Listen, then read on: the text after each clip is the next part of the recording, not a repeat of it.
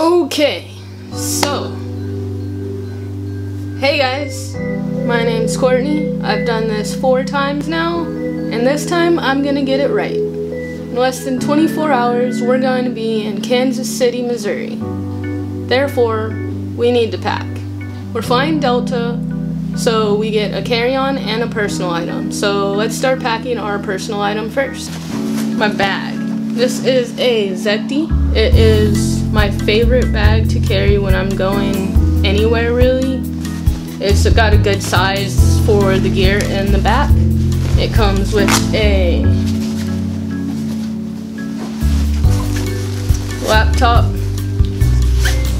uh, pocket right here and extra space up top for whatever you want to use. We're going to put the laptop in the laptop pocket along with my handy dandy notebook. You always want to have one of these for any ideas that you might get. Um, I write, so I always want to have a notebook for when I'm writing. So that will go in that pocket. Next, I have a book for the plane, the airport, for relaxing, really whenever. I have my glasses. I use blue working on my computer, sometimes when I'm writing my book. Next, we've got these headphones. Um, we bought these headphones pretty much just for this trip, so hopefully they make it through. One of the cool things about this bag that I wanted to mention was it comes with its own rain jacket. So it comes in the pocket right here and kind of just like a little shell that goes over the bag and you can fold it back up when you're done with it and put it back in the pocket.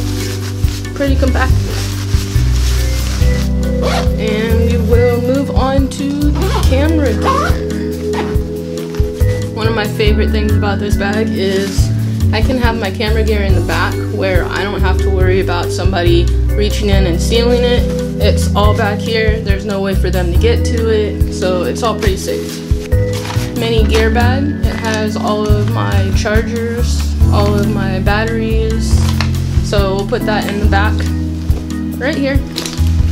Next we have my Godox V1 and the accessory kit.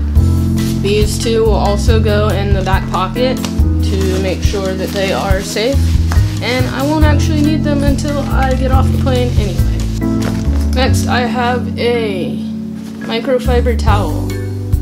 Um, these are good just like wiping the lens if you are working out, you want something that dries quick, this microfiber towel is a good investment. And we have a day pack. Like to carry a day pack when I know that I'm going to go away from the location I'm staying and I'm not going to want to carry all of my gear with me.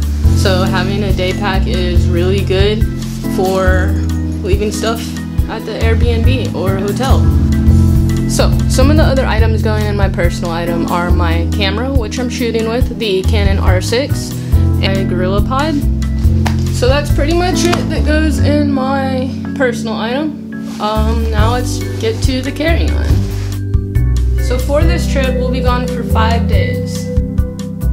The things that I packed are a pair of flip-flops, a pair of workout shoes, I have four tank tops, two pairs of pants, three shorts, a pair of clothes to sleep in, along with a swimsuit. And I pack with packing cubes, so in here I have five pairs of underwear, three tank tops, five pairs of socks, and a pair of workout pants.